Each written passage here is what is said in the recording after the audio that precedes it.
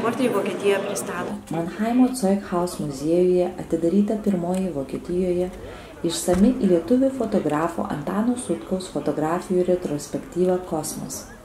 Parodoje eksponuojama daugiau nei 200 darbų, daugelis iš jų rodomi pirmąjį kartą.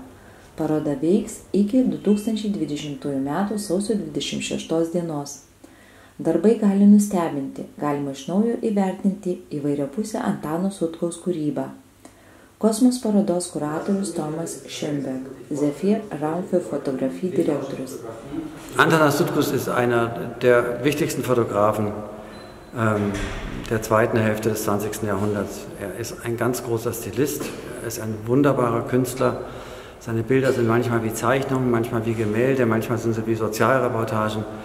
Ähm, man kann das, was er gemacht hat, anders machen, aber man kann es nicht besser machen. Er ist wirklich herausragend und er ist ein großer Schatz der europäischen fotogeschichte. Paroda pirmąjį kartą buvo parodyta nacionalinėje galerijoje Vilniuje ir yra Prancūzijos bei Vokietijos dovana Lietuvos Respublikos atkūrimo šimtmečio proga. Glaudžiai bendradarbiaujant su kuratoriais Gintaru Česoniu, Lietuvos fotomenininkų sąjungos Kauno skiriaus pirmininku ir Jean-Marc Lekar. Labai džiaugiuosi pristatydamas Antano Sutkaus parodą čia Manheime. Antanas Sutkus Vokietijoje tikrai yra jau žinomas lietuvių menininkas, surengęs turbūt daugiau nei, nei dešimt parodų čia Tačiau ši paroda ypatinga tuo, kad jinai pirmą kartą to, tokia didelė, jinai tikrai atitinka visus muziejinės parodos e, reikalavimus. Ir tikrai tikiu, kad e, Mannheimas yra tik pirma stotelė, dar gal ne vienoje vietoje Vokietijoje ta, ta paroda nukeliaus. Labai džiaugiuosi, kad jinai taip arti, e, vienai par kitaip lietuviškų šaknų, lietuviškos gimnazijos, tai labai tikiuosi, kad, kad šiuo metu, kai kai esame čia su, su Antano fotografijomis, tai bus galimybė ir lietuvių kalbą ar lietuvių kultūrą vienai per kitaip puoselėjančius lietuvius e, čia pamatyti, čia susitikti. Tai tikrai aš e, labai džiaugiuosi, nes ne viena karta turbūt atras šitoje parodoje priminimą apie, apie šalį, iš kurios čia išvažiavę, apie žmonių santykius, nuostabius žmonių santykius, kurie turbūt e, niekada nepraras savo vertės ir, ir mus kažkaip jungs. Antano Sutkaus požiūris į žmonės ir visuomenę netitiko tuometinio sovietinio idealo, todėl nebuvo labai mėgiamas nei valdžios, nei meno biurokratų. Kosmos rodo kasdienio gyvenimo scenas, kuriuose žmonės elgesi natūraliai. Tai įprastas, nepagražintas gyvenimas. Nuotraukose matome jaunus ir senus, vaikus ir darbininkus, menininkus ir valstiečius, miestą ir kaimą, modernumą ir tradicijas, išlydėtuvės ir sutiktuvės, judėjimą ir nuobodulį, ar paprasčiausiai lietų. Viskam yra vietos Antano Sutkaus planetoje Lietuva, kurią anuomet iš vakarų buvo taip pat sunku pasiekti kaip minulį. Meilė žmonėms ir Lietuvai yra pagrindinis jo kūrybos variklis. Labas vakaras.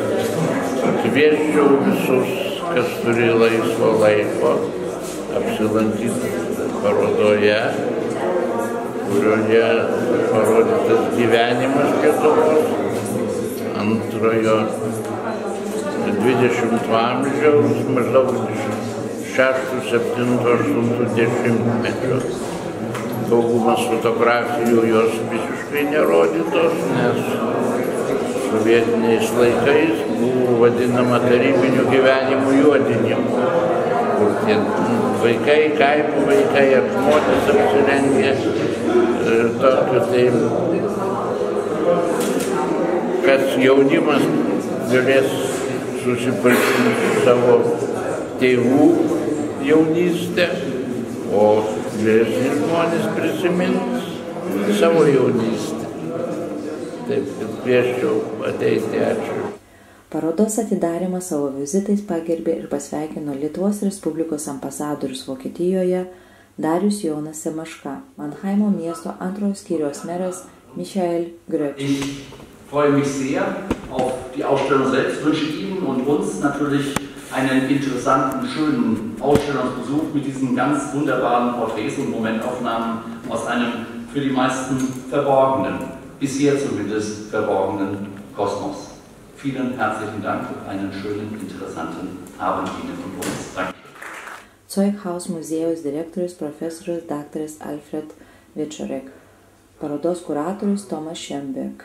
Sofort, eindrücklich, und wenn Sie das alle gesehen haben, werden Sie das bestätigen, deutlich machen, wie wichtig es ist, dass wir alle für die Freiheit von Litauen und allen baltischen Staaten uns einsetzen. Diese Bilder sind so eindrücklich in diesem Zusammenhang, sind so deutlich, wie wichtig auch gerade den baltischen Völkern und insbesondere in diesem Fall auch Litauen es gewesen sein muss, diesen Nachweltkriegszeitrahmen endlich sprengen zu können. 1991 war es endlich soweit und dieses Land hat sich fantastisch entwickelt und wir sehen, aus welcher Situation dieses Land sich. Iš tiesų, na, man per porą metų neteko matyti tiek daug dėmesio Lietuvai. Šiandien matau jos čia man prestižinėje vietoje, pačiam centre, didžiausiame muziejuje, su tokia puikia reklama, matyti žymiausią mūsų fotografą Antano Sutkaus parodos atidarimą ir pačią parodą apeiti tikrai yra nuostabu. Ir matyti daug žmonių susirinkusių ir, ir šiandien jau mačiau Vokietijos žiniasklaidoje jau tikrai sklinda straipsniai, dar va, iš parodos kuratorių žinau, kad dar bus ne vienas jų, tai taigi Lietuvos, na, na, lietuviai čia Vokietijoje sekite, žiūrėkite, skleiskite savo Twitterio, Facebooko ar, ar, ar, ar kitose socialinėse tinkluose, būtinai pasidalinkit su savo vokiečiais draugais, nes, na, tai turime ką parodyti. Labai džiaugiamės, kad Antanas Sutkus atvažiavo į Manhattan ir kad galime pasigrožėti tokią nuostabią parodą, kuri kelia mums, aišku, sentimentus ir prisiminimus. Apie šitą parodą sužinojau iš inserato Heidelbergo aktuell žurnale ir labai apsidžiaugiau, kad čia galima atvažiuoti ir pasižiūrėti šią gerą parodą. Man ypatingai patinka šitas paveikslas, nes jisai rodo dvi kartas,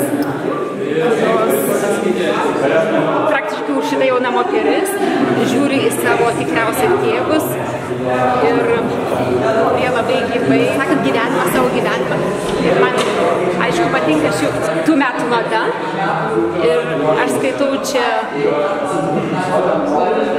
nuotrauką, kuri rodo jauno žmogaus žvilgsnį į pagyvenusius žmonės. Tai džiaugiamės, kad kitą savaitę bus dar viena paroda, kurią mes būtinai aplankysime. Kai sužinojau, kad jau paroda pas Antanas Sutkaus čia Manaime, tai labai norėjau vėl sudalyvauti, kaip ir kitose parodose, tuo labiau, kad Sutkaus, ne kad aš jį asmeniškai pažįstu, bet jau sėkė esu sutikus, kai jis lankėsi gimnazijoje, buvo Lietuvų kultūros instituto suvažiavimas 90 metais.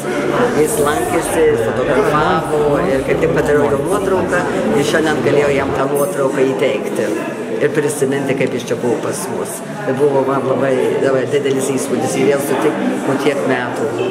O paroda tai yra pasakiška.